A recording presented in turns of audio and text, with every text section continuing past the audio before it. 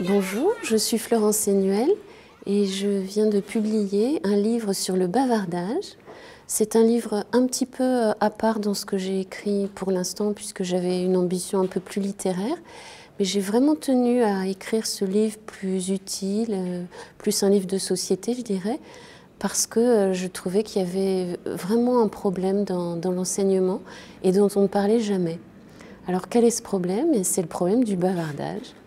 Il me semble que c'est instauré au fil des années, je dirais depuis deux ou trois décennies, une banalisation d'une parole euh, finalement nuisible, parasitaire, et qui euh, pollue véritablement la classe et empêche euh, le cours de se dérouler. Alors, paradoxalement, il me semble qu'il y a moins de, problèmes, de chahuts, euh, d'indiscipline euh, patente euh, qu'on ne le dit. Hein, il y a certainement des établissements très difficiles où il y a des problèmes de violence, où il y a des injures, où il y a des, vraiment des, violences verbales ou, ou, même physiques. Mais, et ça, on en parle finalement assez souvent, mais c'est quand même minoritaire alors que le bavardage est devenu vraiment euh, le phénomène majeur dans les classes. Peut-être qu'il y a 30 ans, il y avait déjà des bavards. Par exemple, moi, quand j'étais lycéenne, il y avait des bavards. Mais c'était quand même une exception. C'était des élèves euh, qui étaient, on pourrait dire, des cas un peu pathologiques. C'était une poignée d'élèves qui pouvaient vraiment pas tenir sa langue. Je dirais qu'aujourd'hui, c'est la proportion inverse, c'est-à-dire qu'il y a une poignée d'élèves qui miraculeusement écoutent le cours sans intervenir, sans parler aux voisins sans parler aux voisins, je veux dire. Hein. Euh, et, euh, mais ils sont totalement minoritaires et la majorité des élèves, dès qu'ils ont quelque chose à dire, le disent aux voisins. Alors ça donne quelque chose qui est très difficile à juguler, puisqu'on on ne sait pas à qui s'en prendre, vu que c'est dans toute la classe que ça se produit.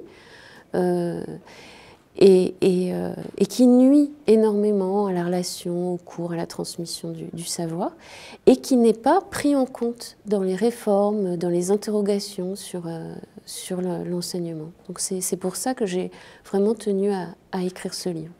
dans ce livre, je, je parle de mon expérience, ça c'est quelque chose que j'ai gardé de mes anciens livres, c'est que je pars toujours de moi-même, euh, je fais très peu de théorie, mais euh, je dis vraiment ce qu'il en est euh, dans, les classes.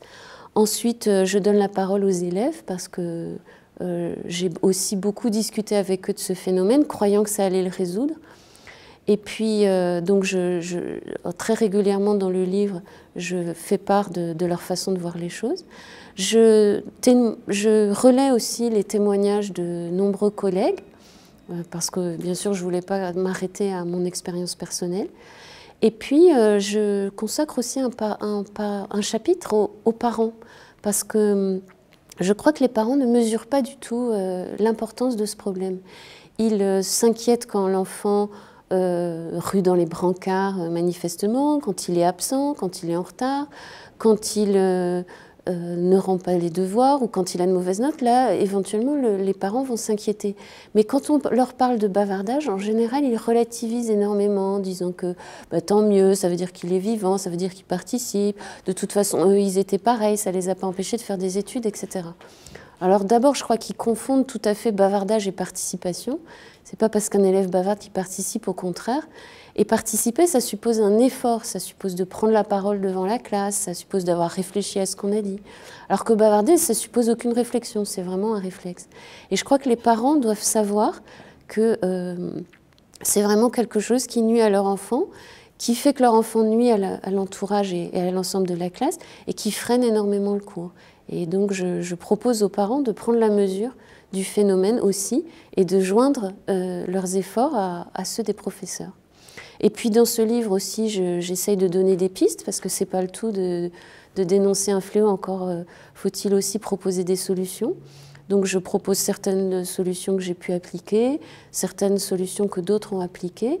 Et finalement, euh, ce que je, constate, c'est que ça tourne en général autour de plusieurs pôles. Un pôle pédagogique, hein, faire en sorte que les élèves ne soient pas rendus passifs, ne soient pas rendus non plus... Euh, trop immobile, qu'il y ait une activité aussi et pas simplement une attention qui soit réclamée aux élèves. Et puis un pôle, euh, je dirais, plus, répressif. Alors, pas dans l'idée d'une punition qui serait humiliante ou qui serait injuste, mais dans l'idée d'une sanction, c'est-à-dire ceux qui parlent, ben, sont rappelés à l'ordre d'une manière précise et d'une manière qui engendre certaines conséquences. Parce que si on se contente de leur dire taisez-vous, ça ne suffit pas. Et ça, je pense que c'est très important. Et puis, il y a autre chose qui serait plutôt euh, à faire à l'école primaire. Je crois c'est tout simplement apprendre aux enfants à écouter comme on apprend à parler, euh, pardon, comme on apprend à calculer ou à lire. Je, crois qu'on a beaucoup donné la parole aux enfants dans la classe, dans la famille, mais on a oublié de voir que qui dit parler dit écouter aussi, et que ça c'est un apprentissage et c'est une difficulté, et qu'on ne peut pas la laisser comme ça euh, au bon vouloir de l'enfant ou au hasard des situations. Il faut que ce soit vraiment pris en charge par l'école, et par la famille bien sûr, mais puisqu'il s'agit de l'école ici, par l'enseignement. Voilà, j'espère que ce, livre pourra permettre aux enseignants d'en parler plus parce que c'est un sujet qui, reste très tabou. Et puis euh, à l'ensemble des personnes qui sont mobilisées par l'école à, réfléchir à, des solutions pour que ce problème ne cesse d'être banal.